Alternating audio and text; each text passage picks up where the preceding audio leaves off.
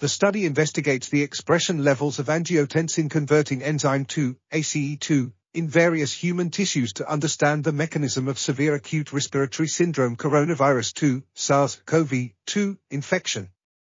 ACE2 is a key receptor for SARS-CoV-2 and plays a crucial role in the entry of the virus into human cells.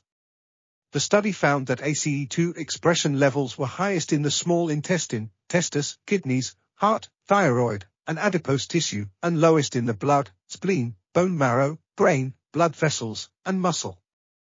ACE2 showed medium expression levels in the lungs, colon, liver, bladder, and adrenal gland.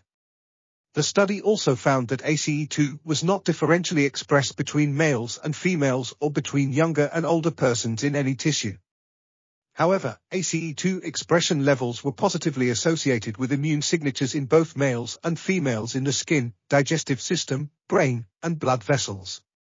In the thyroid and lungs, ACE2 expression levels were positively and negatively associated with immune signatures in males and females, respectively, and in the lungs they had a positive and negative correlation in the older and younger groups, respectively.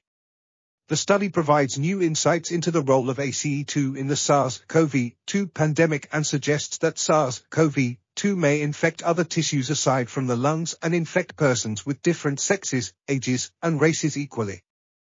This article was authored by Mengyuan Li, Lin Li, Yue Zhang, and others. We are RTCL.TV, links in the description below.